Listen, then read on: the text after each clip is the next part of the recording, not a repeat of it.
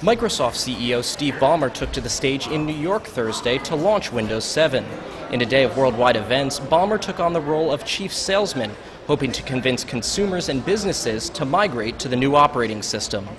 Uh, it is a great honor and privilege for me to have a chance to be here today. Uh, I'm an enthusiastic personality, I think. I, I get a little fired up about things, and I'll tell you, there's not much that gets me more fired up than the chance to start selling, delivering, and letting customers enjoy Windows 7. So today, Windows 7 is available. 45,000 stores around the world. It's available on new PCs. The upgrade is available. And it's just out there for all to, to start, hopefully, to appreciate and enjoy as much as our 8 million beta testers have done. So today I get to say not only that I'm Steve Ballmer and I'm a PC, but I'm Steve Ballmer and I'm a Windows 7 PC effective immediately.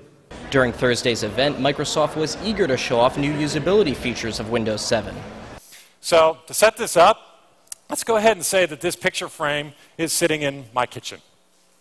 And let's go ahead and say that that Onkyo receiver is sitting in my den. And let's go ahead and say this Toshiba TV, I'd like it to be, is sitting in my family room. And this Xbox 360, well, where else would an Xbox 360 be? It's in my basement, my man cave.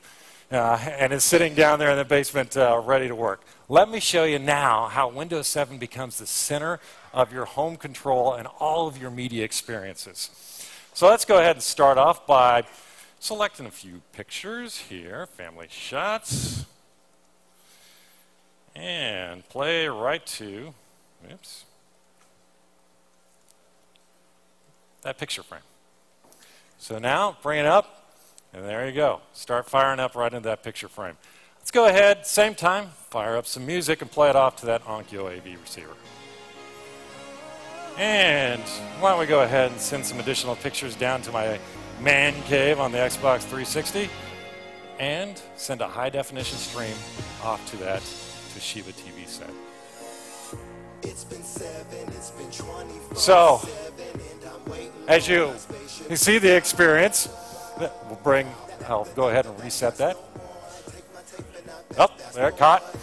So, as you can see now going off of one Windows 7 PC, I've got a high definition stream. I've got pictures in two different locations. I've got music. Off of one Windows 7 PC, I've now got four different types of media experiences going in the house. I've got Windows 7 now controlling from one PC my media experiences throughout the house. The company had an area set up at the event to try out different features of the OS on different types of machines. Some were tablets to demonstrate the Windows 7 touch interface, and others were high powered graphics machines. There are four different versions of Windows 7 Starter, Home Premium, Professional, and Ultimate, ranging in price from about 120 US dollars to about 220 US dollars. And if you bought a PC after June 26, 2009, you're entitled to a free upgrade to Windows 7, but availability and ship dates differ by PC manufacturer, so check with them. With reporting by Marc Ferranti, I'm Nick Barber in New York for the IDG News Service.